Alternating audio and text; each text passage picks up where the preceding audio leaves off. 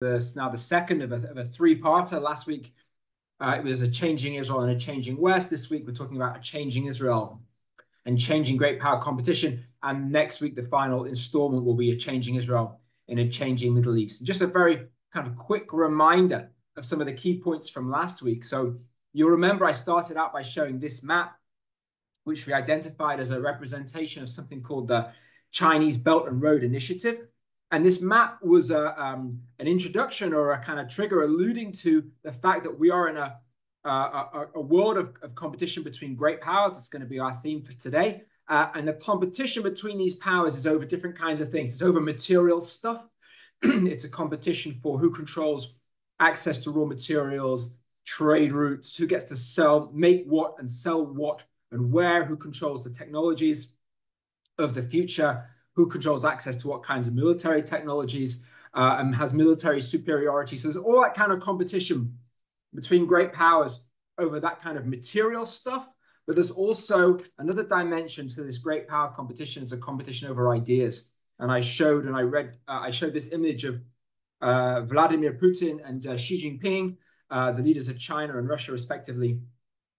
Um, and I read this quotation from a joint statement they made in a summit uh, in February of 2022, where they said basically, uh, we have our own ideas about what democracy is about. We have our own ideas about human rights, um, and we don't accept Western powers like the US or the EU telling us what democracy is, telling us what human rights is, and basically telling us how we should run our countries or how the, the international systems should be run. We have our own values, we have our own ideas. Um, and they're pushing back, obviously, as autocratic regimes, they're pushing back on, they feel very threatened by kind of Western uh, uh, ideas of liberal democracy, liberal internationalism, uh, and they're pushing back, saying uh, we have our own civilizations, our own values, and they're no less valid than yours. Um, but the contest or the challenge to Western ideas, Western liberal ideas of international order is not just coming from autocratic great powers like China and Russia.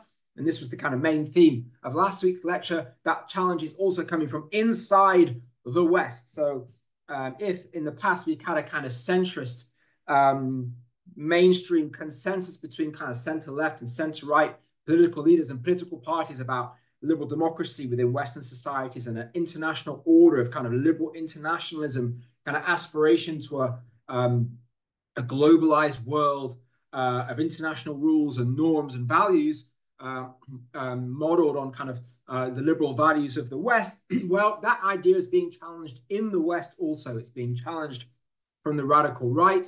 Um, uh, you see examples on the screen. In the United States, Donald Trump. You see image, an image of leaders from France as well, Marine Le Pen, um, by leaders who um, uh, who uh, you know feel that this liberal uh, international order is a threat to both the ethnic identity of nations and also the sovereignty of nations. Um, and you have a challenge from the radical left, politicians like the progressive wing of the Democratic Party in the US, or, you know, in this example from France, Jean, Jean-Luc Mélenchon, radical left leader in France, who think that this idea of kind of Western uh, uh, liberal democracy, globalization uh, based on a kind of neoliberal idea um, is really about the kind of spread of Western power uh, and Western capitalism um, and the West is a kind of a inherently uh, racist uh, uh um, and uh, um, exploitative uh, political entity, and they're not, and they don't really back the kind of spread of Western power um, as justified by the kind of spread of, of what centrist in, the, in the, in the West would consider kind of spread of liberal democracy. So we have a challenge both within Western societies about how Western societies should be, but also it's a challenge about the role that Western societies should play uh, in the wider world. So we have these big internal challenges, and these also affect attitudes towards Israel. This is one of the things we discussed last week, and we have this increasing polarization um, on the. Uh, we tend to find the further to the left you go in the political spectrum of Western states, um, the, the, more chance that uh, people are going to going to see Israel as kind of an extension of this kind of malign Western uh, um, neo neo imperialism uh, and malign Western influence in the world, and part of kind of Western uh, uh, oppression and exploitation. And if you move to further to the right, we see increasingly, and even on the radical right, uh, whereas once we might have expected to see anti-Semitism and anti-Zionism today. Further to the right, we tend to see support for Israel and seeing Israel or framing Israel as kind of an extension of the ethnic identity or cultural identity of the West, a kind of Judeo-Christian vision of what the West stands for. Um, and uh, so we see this, sharp polarization uh, in attitudes towards Israel, and we see that, of course, in the context of the terrible uh, uh, uh conflict that erupted with Hamas's awful attack uh, on the seventh on the seventh of October. So that was kind of big theme from last week, and you and in terms of how Israel responds to these dramatic changes globally and within the West, um, we talked about how the responses of it within Israel are polarized, and they're polarized because Israeli society is deeply polarized. And I talked briefly about the different levels, the different layers of the deep polarization within the state of Israel. We talked about the I talked about the immediate political crisis. Um, I talked about how the immediate political crisis sits within a deep lying social and ideological divide about what kind of society Israel should be the extent to which it be, sh- be shaped by Jewish ethnic identity or Orthodox Jewish religious uh, values, and the extent to which it, be, it should be shaped by values, universalist kind of values of liberal democracy. And that crisis inside Israel sits within a, a global crisis of liberal democracy uh, that, that I've just mentioned, this kind of this, this um, decline of consensus about values in Western societies with the rise of the radical left and radical right that we see in Western societies all over the world.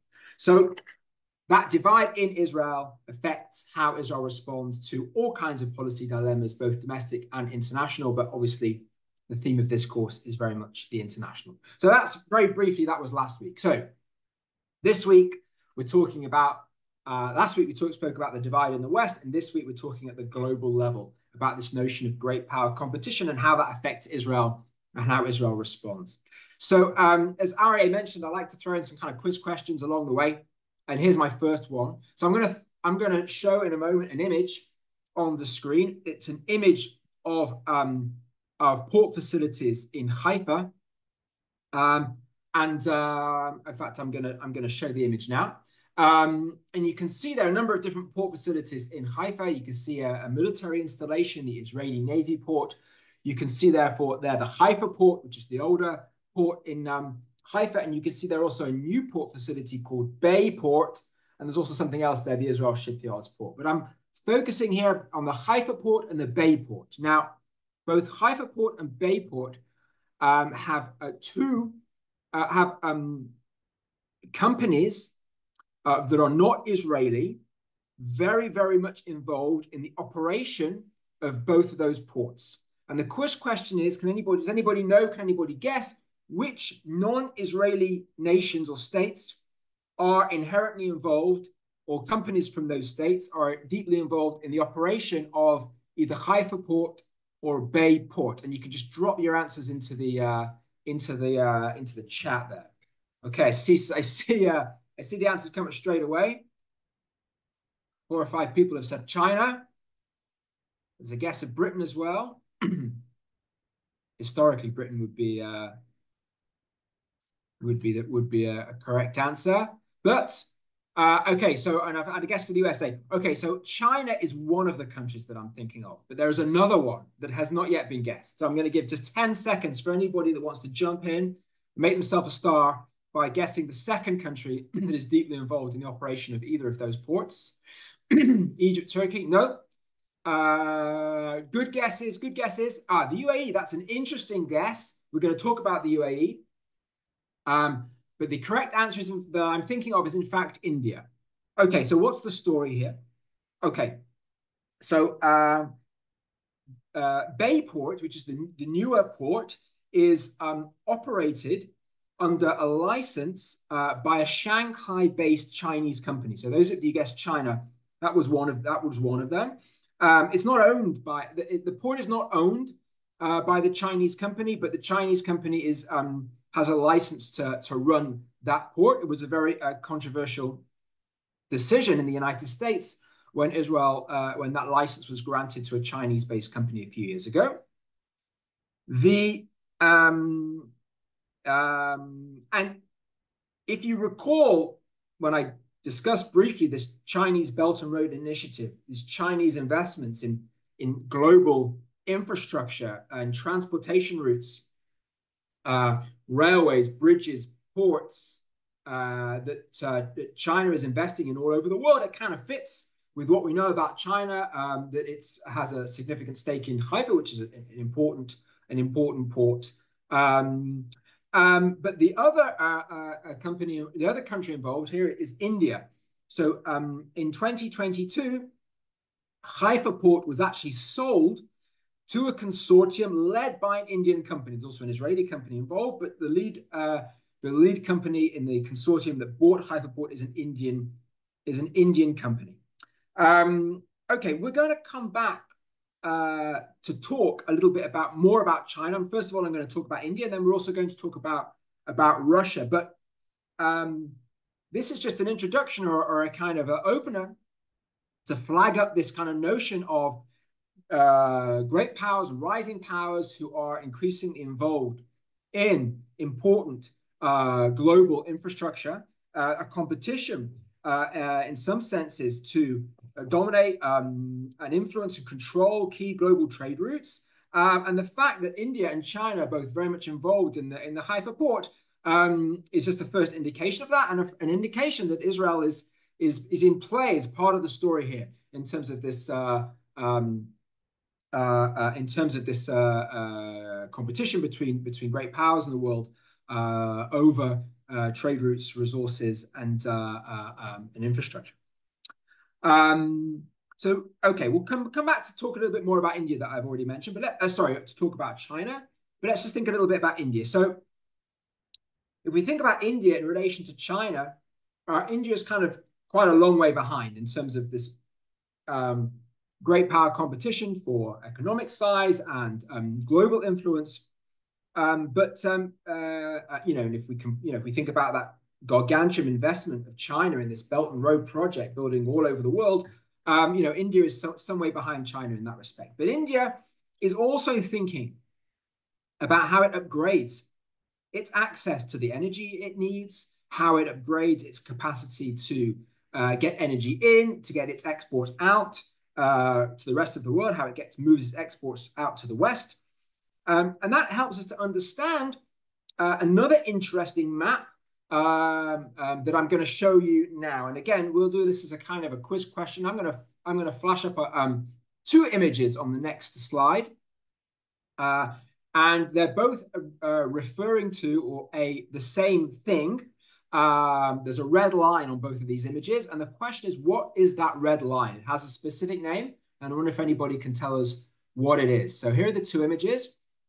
In the top left, you see the Israeli Prime Minister Benjamin Netanyahu.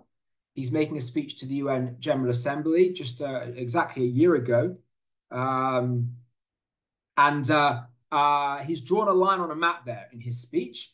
And in the map, you see the bottom right hand corner, uh, you also see a red line, and that red line is the same, you know, it's alluding to the same thing. But what, what is it? What is Netanyahu drawing on that map? Does anybody know?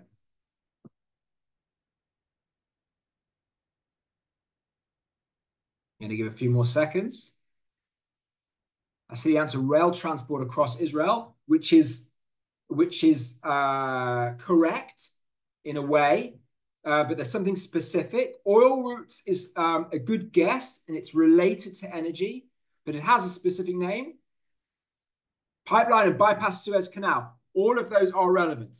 Um, but but uh, let me explain why and how. So this is something called the India um, uh, Middle East Europe corridor. Okay, it's a specific project with a specific name.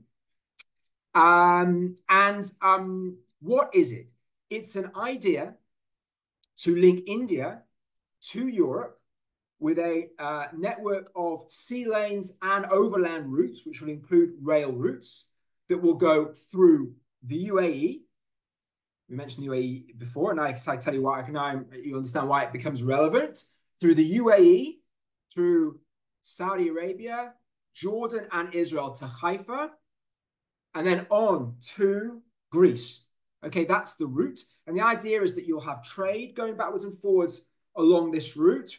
but also that you'll have uh, fiber optic cable, cables, so digital connectivity, and energy pipelines as well. And the big vision is the idea that you could produce clean energy, clean gas in hydrogen form using massive solar energy fields in the Arabian Peninsula, which is like the ideal place in terms of capturing the sun energy.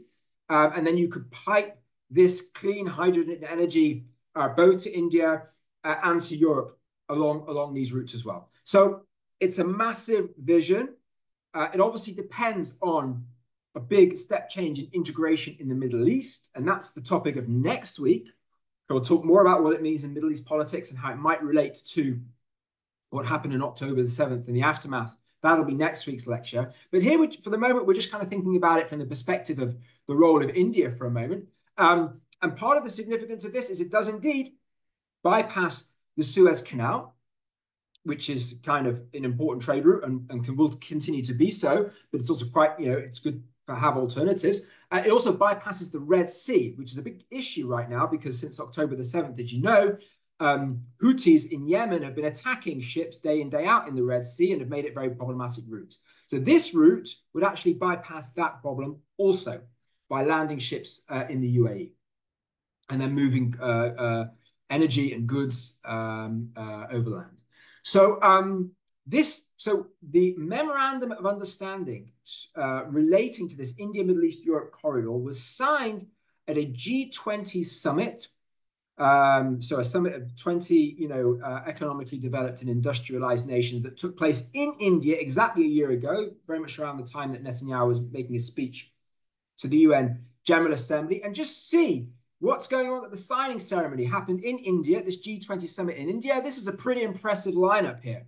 Um, you see, going left to right, um, uh, Ursula von der Leyen, the president of the European Commission, Mohammed bin Salman, the crown prince of Saudi Arabia. You see Narendra Modi, the prime minister of India. You see Joe Biden, the president of the United States. You, you see Mohammed bin Zayed, the president of the UAE, and then uh, President Macron of France on the table as well. And there were others as well. But this is a high power table uh, putting their stamp um, on this vision.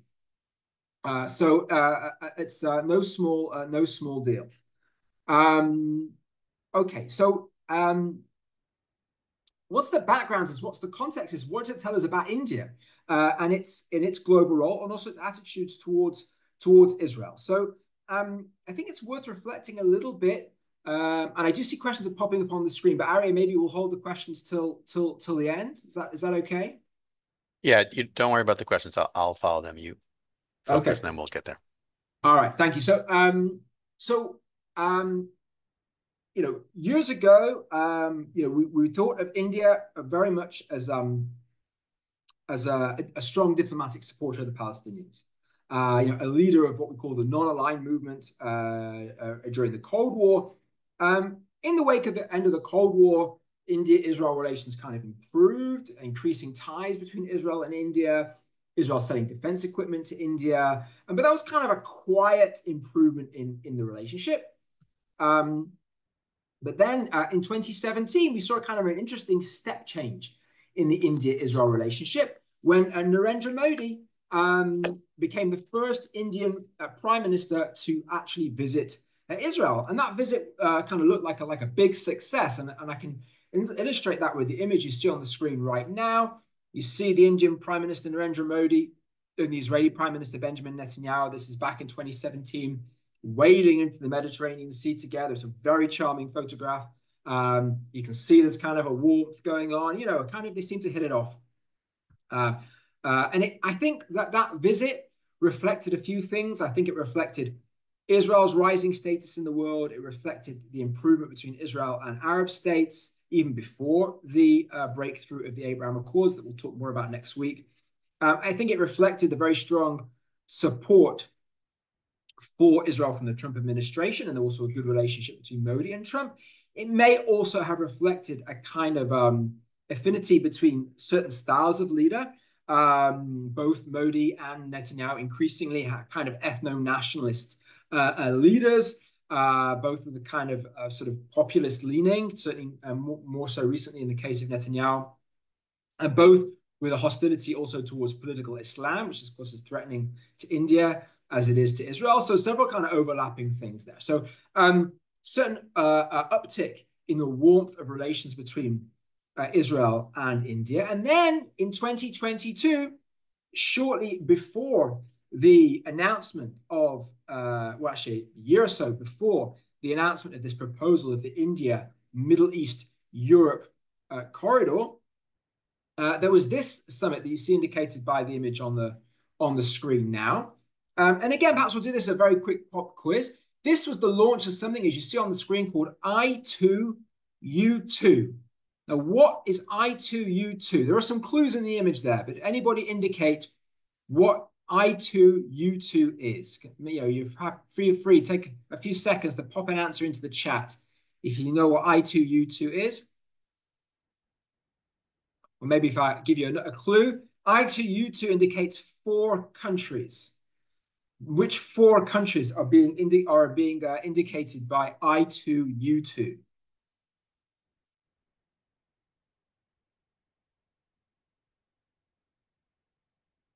USA, India, UAE, and not sure, but you've missed the easy one. You got the hard three, but what's the fourth one? What's the second I? Uh, it is, of course, uh, Israel. Thank you very much. Well done. So, um, so yes, yeah, so the I two is is India and Israel, and the U two is the United States and the United Arab Emirates. Okay, so that's the I two U two. Yeah, very good. Exactly. That's those are the four the four states. So nothing to do with the uh, famous spy plane or the Irish rock band. This is um, India, Israel, the United States, and the United Arab Emirates having a summit to launch this thing called I2U2. Now, why do these four particular countries need a, some special framework or institution for cooperation? It kind of seems at first sight like a, like a little bit random. Um, what are these four countries, you know, got to do with each other in particular? Well, they announced all kinds of proposals that they had uh, to work together on clean energy, on space technology, on food technology, on climate change technology. They were going to support all kinds of cooperations uh, to support private investment in all these things. Um, um, but uh, on the same day that they um, launched this I2U2 uh, framework, uh, I see many, but yes, absolutely. So um, so the same day they launched this this this framework is the same day that it was announced that um, uh, Israel had approved the sale of Haifa port to a consortium, which includes this led by uh, this uh, Indian uh, Indian company. And if we think about what subsequently happened, the memorandum of understanding on the India Middle East Europe corridor, this idea, this vision, this proposal to create this link, the fact that um, um, India made this major investment in Haifa port, they were building this kind of quad link with the UAE as well, which is the UAE is a pivotal country for this Middle East Europe India corridor because in because the UAE is where the ships where the uh, uh, or the ga gas pipelines are going to land before they head through Saudi Arabia. It's geographically very very important. Um, uh, it starts to make sense that we see the building of this kind of this kind of infrastructure um, uh, both in terms of strengthening diplomatic relations, but also making the basis for integration uh, in uh, uh you know geopolitical significance in terms of trade routes, energy routes, uh, communications routes, and so on. So, and we see India through this dip diplomatic network, through its investment in Haifa port, also trying to increase its influence and its role in the Middle East which is an important potential historically and in the future conduit for energy trade and goods uh, from India uh, to the West. So, but the fact that this was announced um, on uh, this day that Biden was in the United States, uh, with, was in Israel. This is event happened in Israel. You see there also the then Prime Minister Yair Lapid um, uh, so the fact that this was announced while Biden was was was there in Israel at this summit shows that basically a kind of diplomatic stamp of approval from the United States for this major investment of India buying up this big port in Haifa, which is in stark contrast to the US reaction to China uh, taking a major role in operating the uh, uh, the Haifa port, sorry, the Bayport uh, uh, complex. The U.S., especially the Trump administration, was not happy about the Chinese infrastructure investment in Israel, uh, particularly the port. you know, said at one point it was not going to allow U.S. Navy ships to dock at Haifa port because of the significant role of a Chinese company in operating the Bayport facility.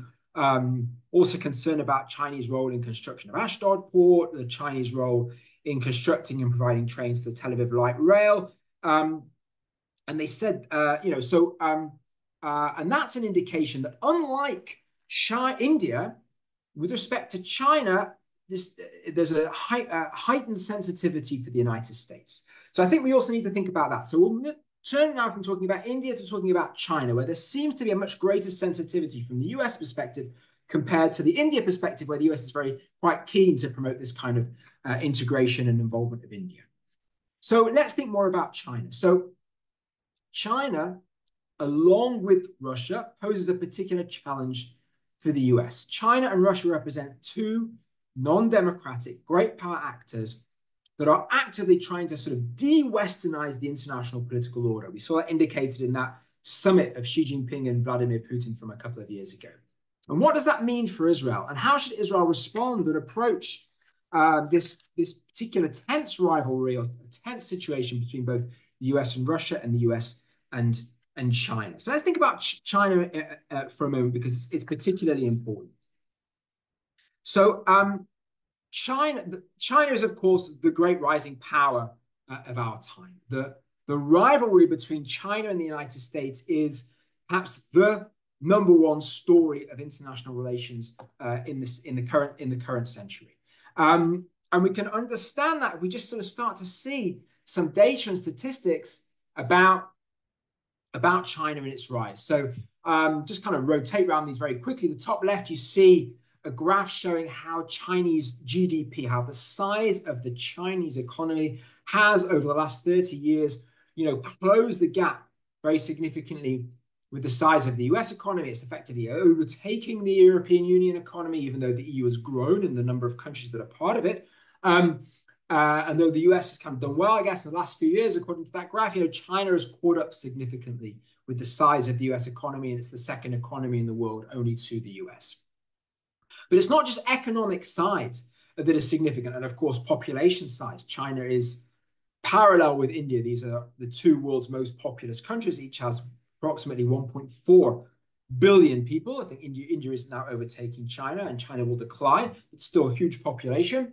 We also see economic size population, but in the top right-hand corner, you see a, a graph showing you who is filing the most patents for new technologies in the world in many, many different fields. And you can see, according to this research, that China is number one in 29 different fields. You can see some of them on the graph there, computer technology, electrical machinery, digital communications, medical technology.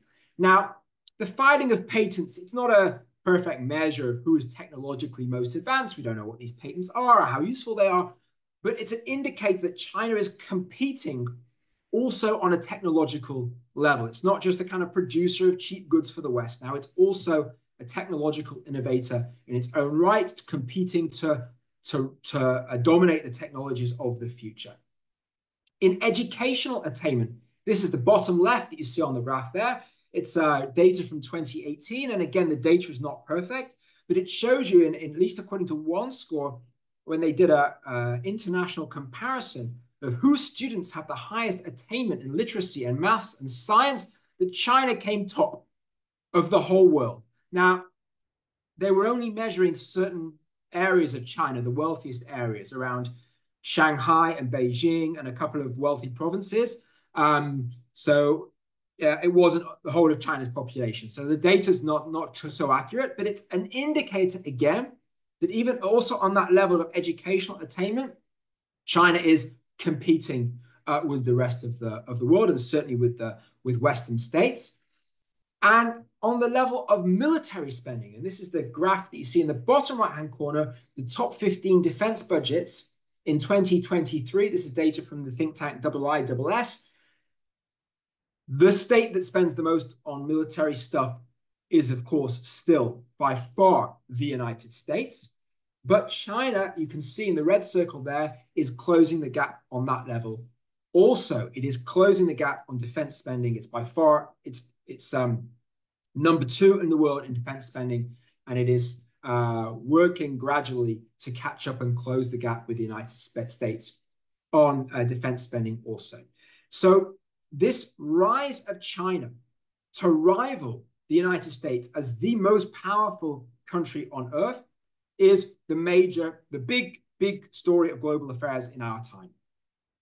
Um, and just to kind of illustrate that, a quotation from Lee Kuan Yew, who was the founder of modern Singapore, uh, knows China very well, quoted in uh, Graham Allison's 2016 book, Destined for War. He said, The size of China's displacement of the world balance is such that the world must find a new balance. It is not possible to pretend that this is just another big player. This is the biggest player in the history of the world.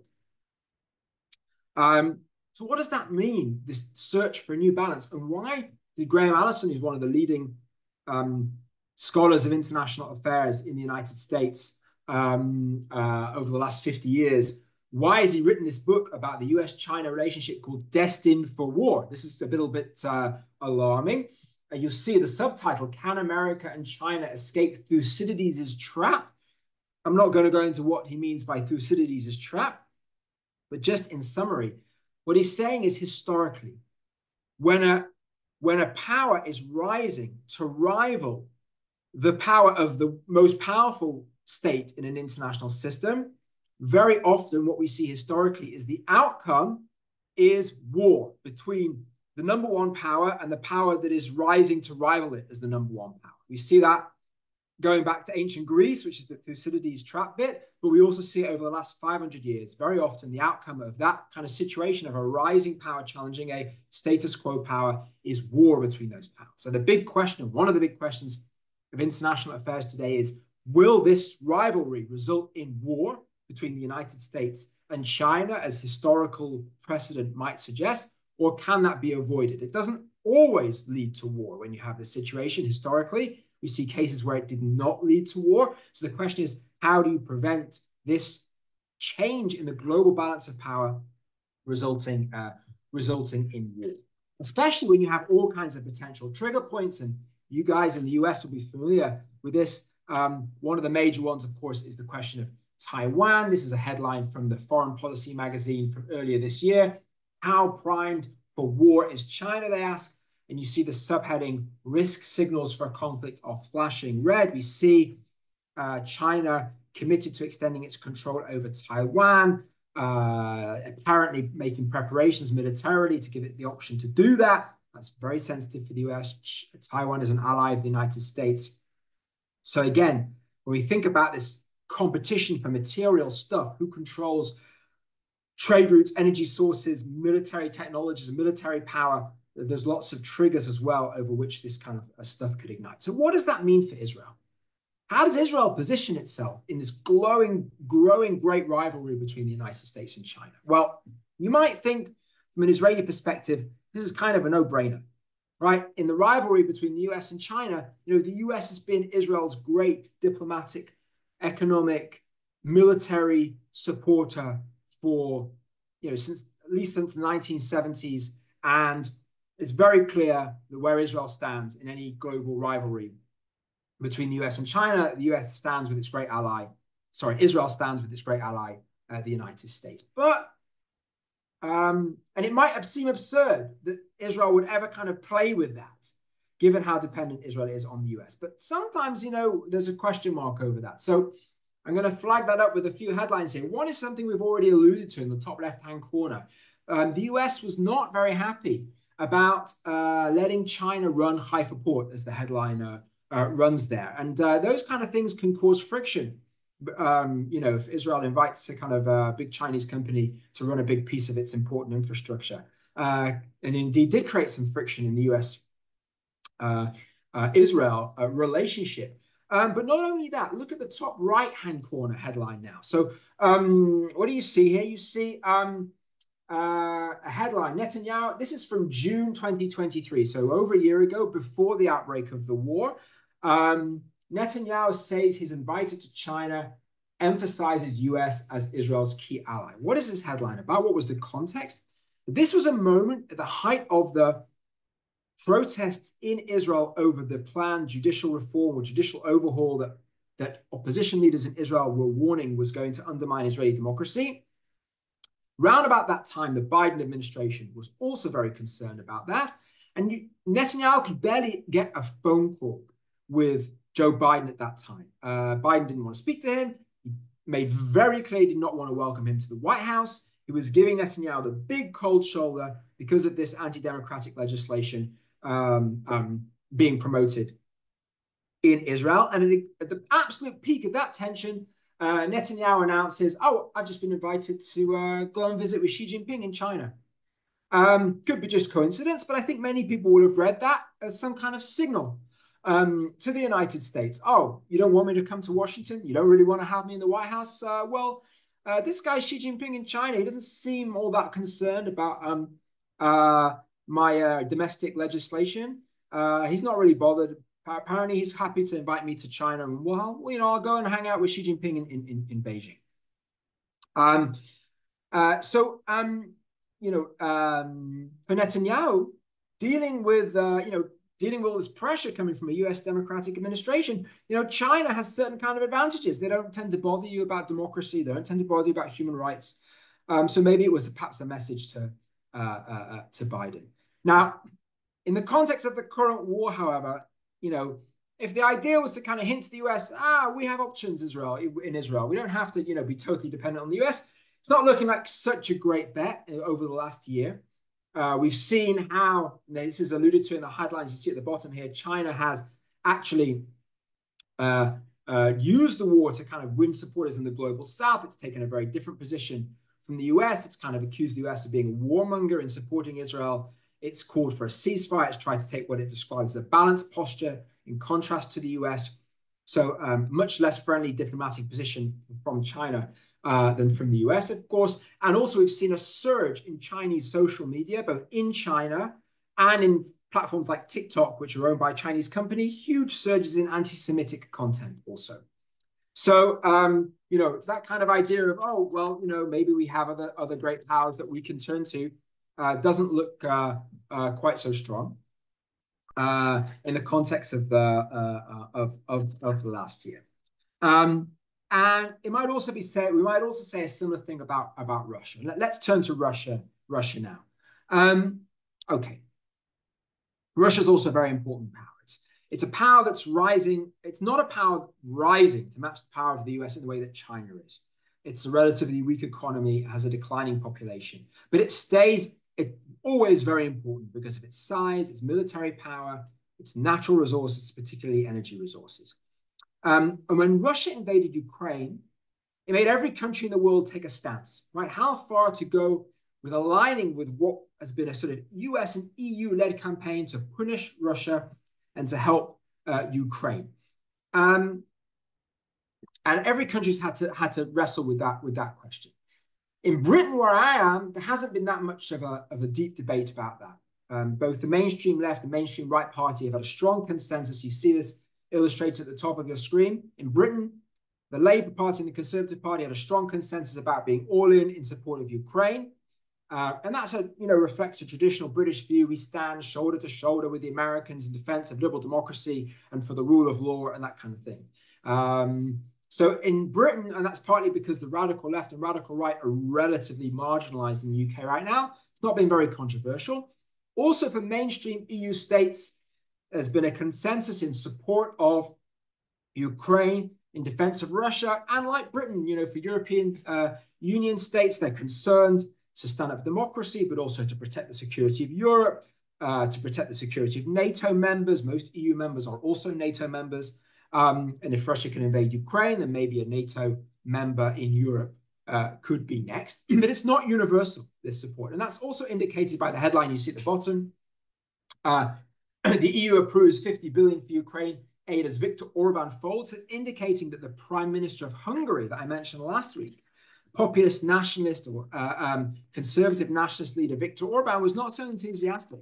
And he ref- about giving money for Ukraine, much as the right some on the right in the United States are questioning the wisdom of giving uh, financial and economic and military support to Ukraine. We find on the radical right, in both uh, the the US and in and in Europe, some who are saying, um, you know, why should we waste our energy and our resources uh, helping out Ukraine? Why should we pay more for our gas uh, to help out Ukraine? You know, we're having to, you know, not you know not buy uh, Russian gas. Suddenly, our, our energy is a lot more expensive, certainly in Europe uh, or we're spending billions and billions and sending it to Ukraine. Why don't we just cut a deal with Putin? Why do we need to waste our, our resources? And you can see that in a headline.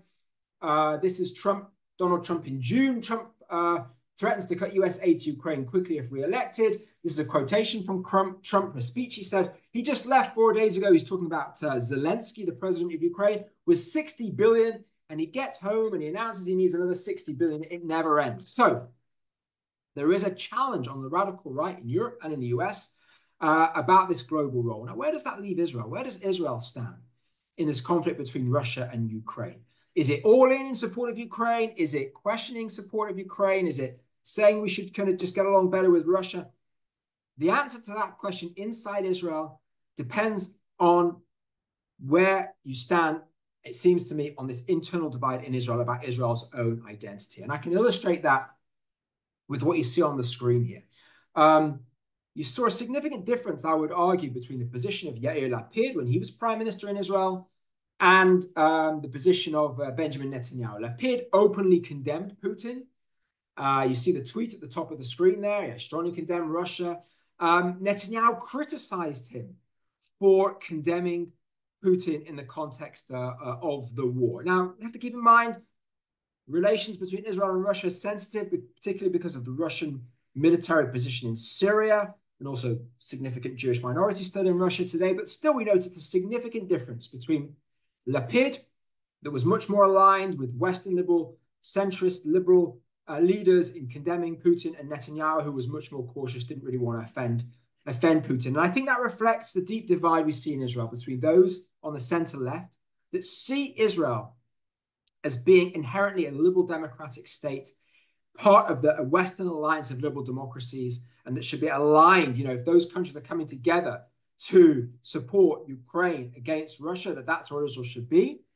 And on the right, there is a different set of priorities, less concern or commitment for liberal democracy inside Israel, but also in less of an idea of Israel being part of a kind of liberal internationalist Western liberal alliance um, that should support values of, uh, you know, uh, international law or a liberal international order, because those values, though, though the strength of that order can also be a challenge to the Israeli right. For example, um, you know, if uh, states have a strong sense of international human rights norms, that can mean putting pressure on Israel over the Palestinian issue, putting pressure on the Israeli government over challenges it's making to, towards liberal democracy uh, in inside Israel. So we see how Israel responds, whether it's with respect to Russia or China, to these dilemmas, I think depends a lot on this divide, this ideological divide uh, in Israel um, between these the different camps and different visions of what Israel is and what kind of state uh, Israel should be. Okay, I'm going to pause there and give a chance for for questions. Thank you. You know, we we are we've been so busy here, obviously in the last 11 months focused on October 7th and before that focused on the judicial issue that I don't know how many of us were really focused on some of the stuff that you brought up. Um, maybe Mike Rubin, who reads way more than I do, knew about all this stuff, but I certainly didn't. So thank you for sharing it. I guess one of the questions I, I've seen in the chat is, how much is Israel just in the middle of everything and how much is Israel driving things? So is Israel looking at the world order and saying, ah, we can actually play a role here and get you know serious benefits by attracting China and attracting India to the ports in Haifa and by negotiating with the UAE and you know being involved in this corridor? And how much is is it that Israel just happens to be in the right location in the right place with the right people and technology, and therefore it's being approached by the other powers to be involved in these um, relationships? That's a really good question. I think that the second element of that, you know, I don't think we can entirely separate between those two elements in the sense that um, Israel's geographic position is defining in the role that it can play in this uh, in this uh, great power competition. Israel, as it just so happens, is in a really significant uh, geographical position. It really can play the, uh, uh, the, the role of one of the points of physical linkage between East and West, which is a phenomenal opportunity. And we'll talk more about it next week. I think we talk about the Middle East. That, we, sh- in my mind at least, we shouldn't underestimate the scale of the opportunity if there was integration between greater integration between Israel and Arab states, what that could mean in terms of making Israel a kind of real bridge between uh, between East and West. The capacity of Israeli leaders to capitalize on or exploit the opportunity also depends on these wider questions. And Netanyahu was a big champion of this India, Middle East, Europe corridor, of course, of normalization with Arab states. But what we're discovering, what we're seeing, certainly in the context of last the last year, is that the Palestinian question cannot be disconnected from these issues. If Israel wants normalization with Saudi Arabia, it's going to have to at least calm down, if not settle, the Palestinian question. And that come back comes back to the heart of the identity issue within the state of Israel. So Netanyahu is kind of hoping to have his cake and eat it. It's looking much less likely that he can do that now. And so that's going to be one of the big debates in Israel, I think, uh, going forward. And you already see it in the debate between le- center, left, and right in Israel on a question of how to end the current war. I remember reading earlier, and I, I'm wondering what your thoughts are, that one of the reasons that Hamas decided to attack was that it was looking around at this rapidly changing new world order, particularly with Israel and the UAE, and maybe Israel, UAE, and this corridor, was very upset with what was happening and felt that it had to do something. It does that. Did that in fact play a role in, from your perspective, as to why Hamas attacked when it did? Look, Not in the, the date, we, but but general attack. Yeah, look, and uh, there's a limitation. We can't read Sinwar's mind and know exactly which of several motives was the dominant one or the most important one. But if we listen to the words of Hamas leaders that spoke and explained. This is why we did this. For example, Ismail Haniyeh, now dead, of course, now, uh, but um, he made a speech, uh, the Hamas leader, uh, former Hamas leader in Qatar, on October the 7th, where he basically said, you know, this is why this is happening. And one of the first things he spoke about is, or alluded to, referred to as the normalization between Israel and Arab states. Um, he didn't refer to the India, Middle East, Europe corridor explicitly, although it may have been a factor, and these things are inherently linked together. But he basically said he addressed Arab states, and he said, "You Arab leaders that thought you could sell out to Israel, you wanted to bank your future prosperity uh, on Israel and the United States. Look how weak we just made Israel look. You're backing the wrong horse. You're making a big mistake." So clearly, that changing regional dynamic was a significant element of this, in my view. And again, this will be more of a focus next week. That Hamas, when it launched that attack, was looking regional. It was a regional strategic act, not just about the Gaza Strip itself. And yet, I think this is a side discussion. We've seen that these economic relationships that were created led to protection of Israel when Israel was attacked, for example, by Iran um, and the countries around have protected Israel. So there's something else going on as well, right? So there's something very remarkable about how enduring the Abraham Accords have been, uh, in the sense that you know no no neither um, the UAE or Bahrain or Morocco have like have renounced or reversed their normalization uh, with Israel. Relations have become very tense, and yes, in the context of that April 13th Iranian attack attack on Israel, we saw the practical cooperation uh, between Israel and those and those Arab states. So there's something very enduring uh, about that strategic cooperation. But to fully realize the potential of this cooperation, uh, of course, that that the, in terms of some things like the India, Middle East, Europe corridor, normalization of relations between Israel and Saudi Arabia, that cannot be disconnected. It seems from addressing uh, uh, the, the, in some sense, the Palestinian question. And I saw a question or two about the role that Iran is now playing in in everything you just told us about. Is Iran the the, the um, um, trying to be the uh, the spoiler? Is Iran yes. basically it's not just an issue about Palestinians and what's going on in Gaza for them. It's this this this this basically they're left out of this whole thing, right? So um, are they in, intended? Are they intentionally trying to be the spoilers? And right now, I assume everything that's going on, particularly with Iran, is is threatening this whole um, corridor. Idea. Absolutely, absolutely. So we'll zoom on this next week when we talk on talk about the Middle East. But yes, this entire this um, the Middle East component of this vision, which entails integration between Israel and Arab states, and Arab states opening up their economies. Uh, some have already done so, and some wish to do so, like Saudi Arabia is trailing behind the UAE and wants to catch up, being open to the West and um, uh, open to Israel, and having much more liberal social models and much more liberal economic models. Um, this is uh, in inherently threatening to Iran. I mean, it contradicts Iran's core ideology, which considers Western cultural influence to be toxic um, and anti-Islamic, but it also threatens, of course, the status of the regime in Tehran. If um, Iranians can see uh, how Arab states can get along with Israel and prosper economically and build open societies and uh, liberalize their, um, their social models and, and um, liberalize rights for women, even in Saudi Arabia potentially, then that of course where where Iranian where the Iranian regime is suppressing women that just want the right to remove head coverings. This is extremely threatening for the Iranian regime and Iran and its network of proxies, Hamas, Hezbollah, Houthis in Yemen, and others are fighting in a, a coordinated um, uh, um, a battle to undermine that. And that's part of what this war is about. Absolutely. It is partly about undermining uh, and making that kind of integration process between Israel and Arab states impossible, undermining Israeli security, undermining Israeli deterrence, undermining confidence in Israel's future. Um, and that's what this part, a big part of what this uh, war is about. It's about the future of the Middle East. What kind of values will shape the region uh, going forward? What will be the place of Israel? What will be the place of the US and its vision and the status of, uh, of US uh, allies in the region? A few, a few more questions.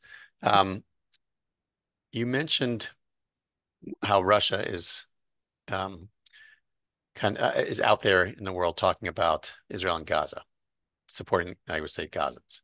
You mentioned the Chinese and kind of what's going on in the background with TikTok and stuff like that, but you didn't mention India. What is how has India been responding to the war in Gaza? Yes, I think India's taken you know uh, um, a slightly more nuanced and, balanced position, and it's balancing between uh, you know um, different competing, I think, social factors uh, and different kind of geopolitical interests as well. And I suppose it's taking more its traditional kind of non-aligned, uh, uh, more neutral posture. Um, uh, I don't think it's given the kind of uh, overt diplomatic support to Hamas uh, that Russia has, for example. Um, but it's not perhaps it's not certainly not backing Israel in the way that United the United States is. I think it's a you know in this perhaps similar to the position on Russia Ukraine.